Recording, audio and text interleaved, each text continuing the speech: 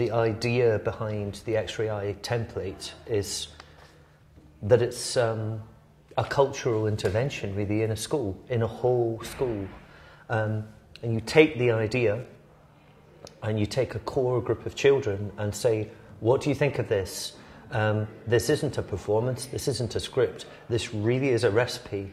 And the ingredients are other people and what's inside them and how they feel and what they make of the games and the exercises and the things that we've already discovered that we like and we're good at working with and we're good at imparting them. We've found our own style of doing that, of transmitting what we've got. But now, this is what happens when you take that idea and attempt, and today is the first attempt, to allow it to cascade is one word, right through a morning. There is a question, and the question is both an artistic one and a curricular one, an organisational one. Where is the space? I think this is my main question. Where is the space in the day? Where is the space in the school? Where is the space in the teacher's timetable? Where is the space in the national curriculum? And where is the space in every single individual child that genuine, free emotional expression can be allowed to take place? Where is that space? Okay, where's. Where are we going? Places, everyone. Absolutely no idea where the gym is. And uh, we're lost. Hello there. Hello. Are you coming to play?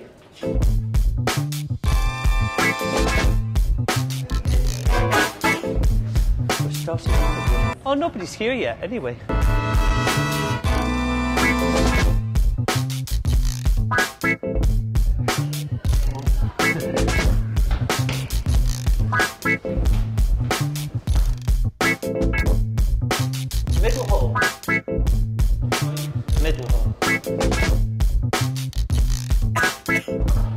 Da due.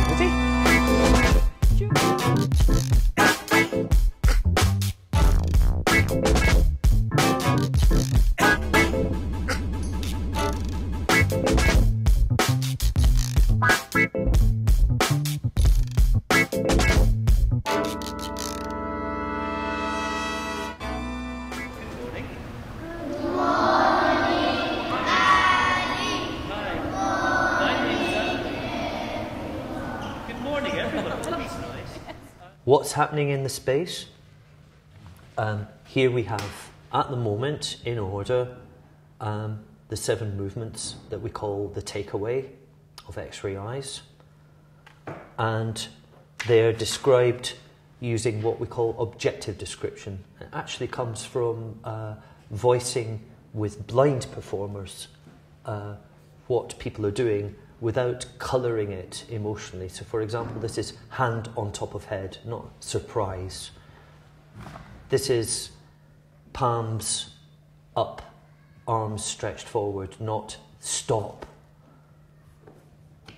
This is hands to side of head, mouth wide open. But it looks so like anger that we think we'll change it because it's prejudicing what you might see. This, number six, is the one that the child chooses completely afresh every day in their warm up, where they're asked to make a movement that says, This is me, here, now, today. Not, This is how I feel today. This is me, here, now, today. And this pointing one um, is itself enough to write a book about. Um, it is argued that this is one gesture on its own that distinguishes us from all the other primates because it says, This is me and that's you. Uh, but it's just called point. It's up to you to read it. So that's the very simple system which um, in all its possible combinations, including dance combinations, April Fool joke combinations, guessing game combinations, playground game combinations, and focused dramatic explorations um, in all of those ways that it might be used, which are up to the child. Um, this you will see percolating through all the spaces in the school today. One, two, three, four, five, six, seven.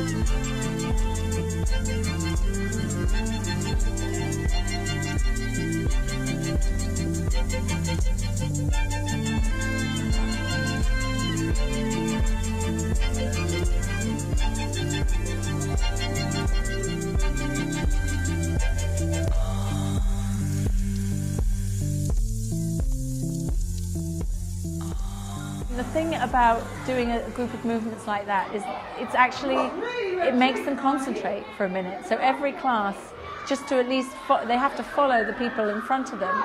So they may not be totally learning it fast, but you suddenly get them all in the same place trying to go through the moves together. I see the ones that people kind of prefer or the ones that they put immediate meaning to. And of course, I'm quite interested in the ones that they don't and seeing what happens there. Because some of them are, are, have things that you can almost see immediately, or you know, that they're, they're really clear expressions. And so sometimes seeing the, the other ones, I like, I like the more open sort of interpretation there. Okay, what are they feeding? This guy's feeding that angry. Yeah. Sleepy, jealous, angry, frustrated, devastated, annoyed, uh,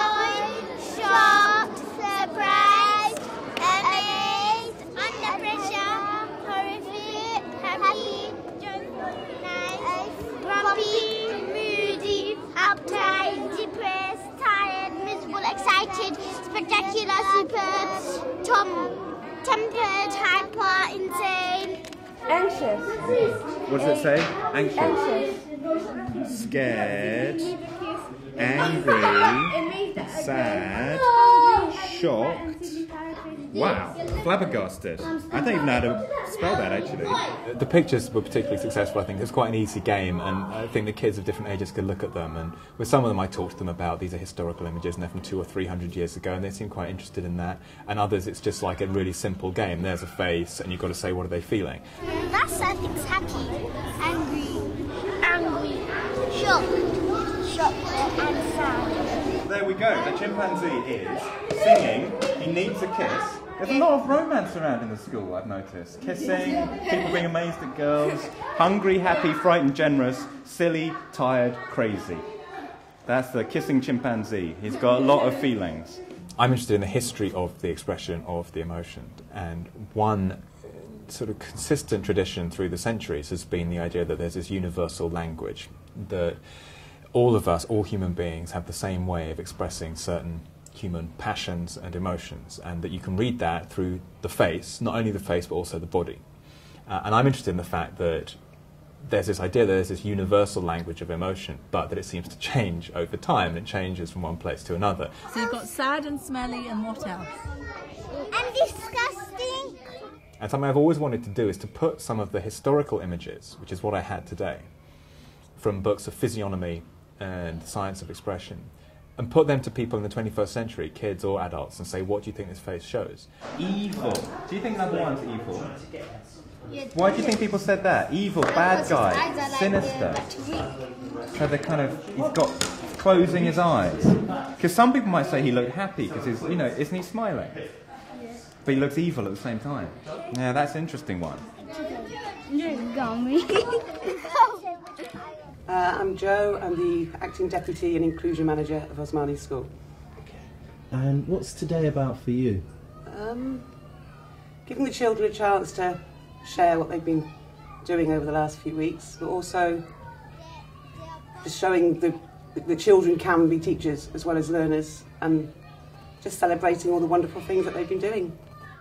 It is very important. We want our children that grow up into adults that can share their feelings, that can say how they're, what's happening. We don't want children growing up to adults that aren't able to communicate.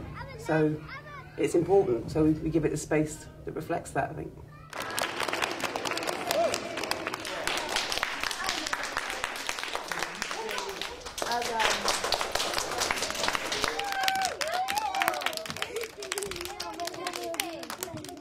Adios. Gracias. Adios. Bye-bye. Adios. Gracias. Adios. Adios. Gracias. Goodbye. Hello, goodbye. Good other friend. Thank you for coming to Osmani school.